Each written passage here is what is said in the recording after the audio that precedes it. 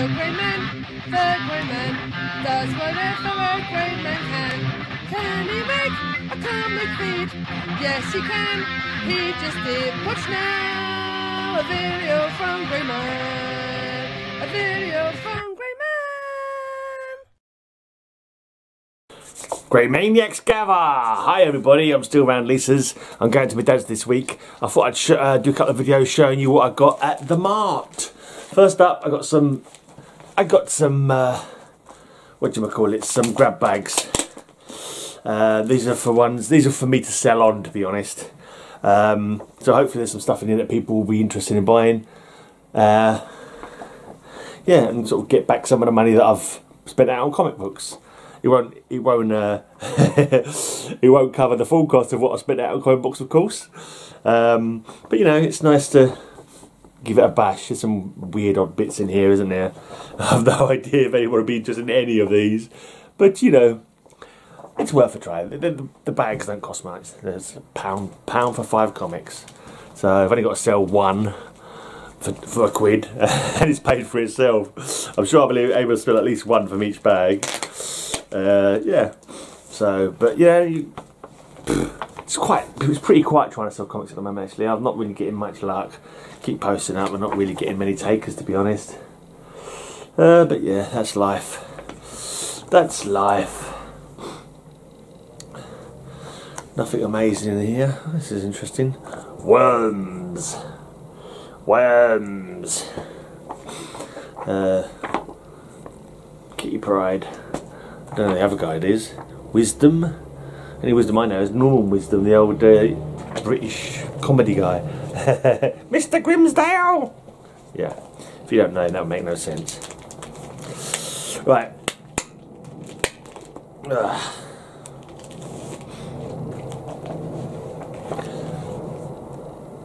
That's Green Arrow uh, annual. That's got to be worth a couple of quid to someone. Uh, Sam Slade Robo Hunter from 2000 AD. It's a great story, that is. If you don't know Sam Slade, well worth checking out. uh, Dragon Star, The Origins of Marek and Chandra, Matrix Graphics Series.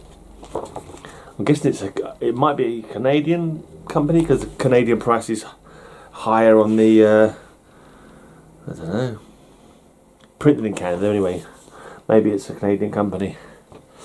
Um, mind the gap. Oh, mind the gap. Mind the gap, as the automated voice says at um, Bank Station in London.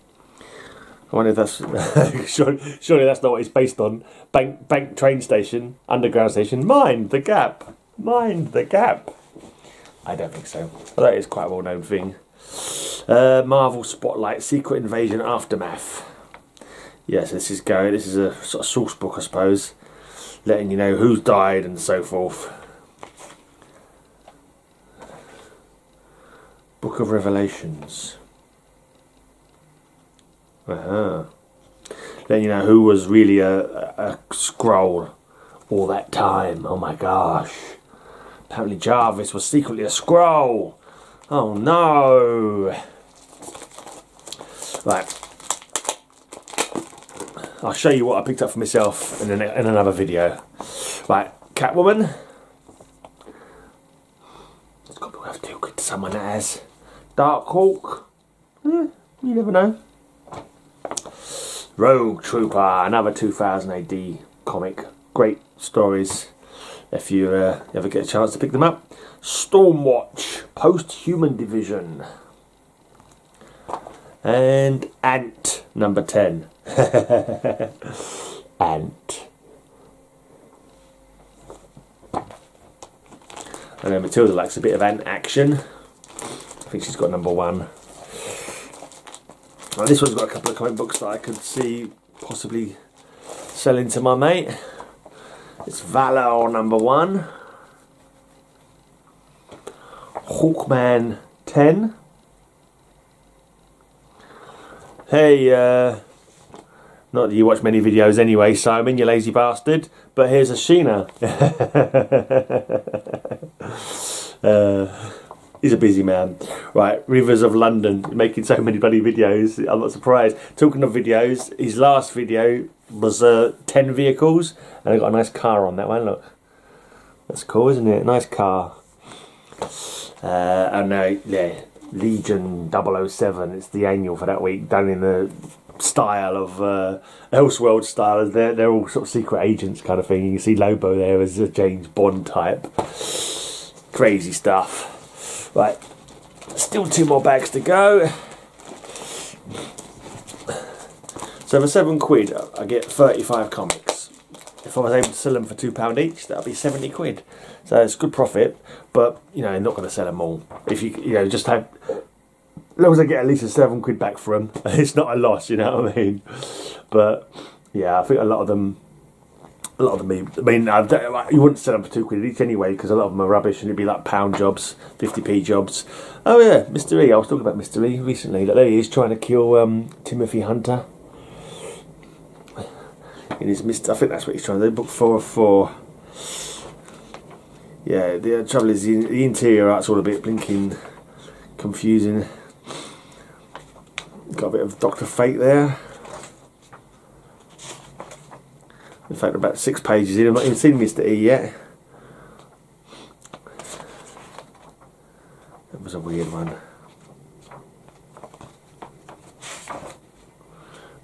Yeah, there he is, look.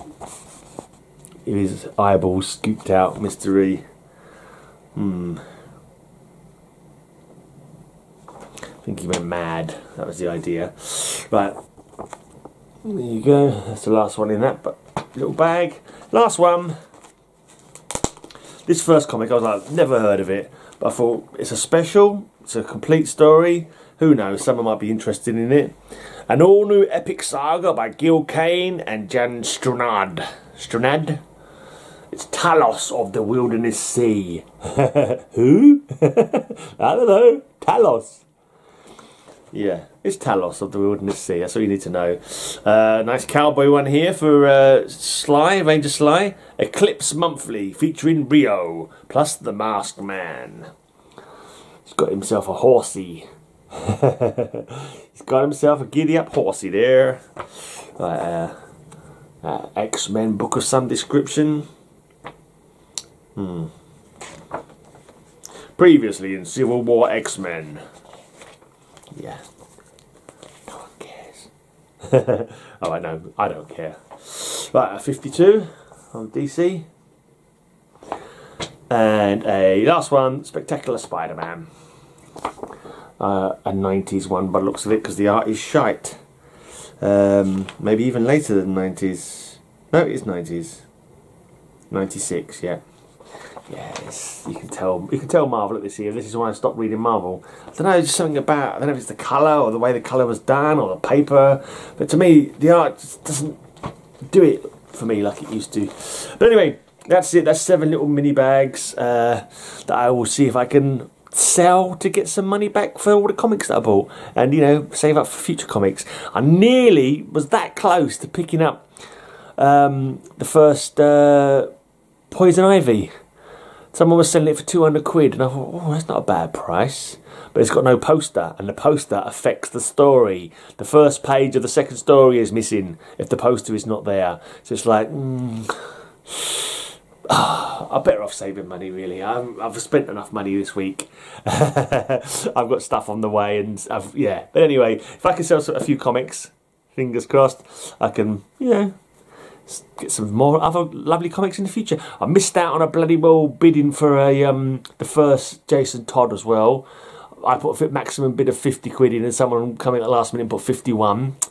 I was going to go back in and, bet, and do another bid as well. I forgot. I'm always doing that. I'm always so, so that's never mind. It's it's not it's not a Jason Todd missed. It's 50 quid saved. Let's put it like that. Right. Yeah, that's it for this video. Um, yeah, yeah. Oh no, I'll tell you that story when I do the. Uh, I'll show you what I've got at the con, the the mart rather, the London Comic Mart. Anyway, cheers for watching this. Uh, if you want any of them comic books, yeah, drop me a line. if by some mad chance you fancy getting some one of some of the comics off me, do let me know.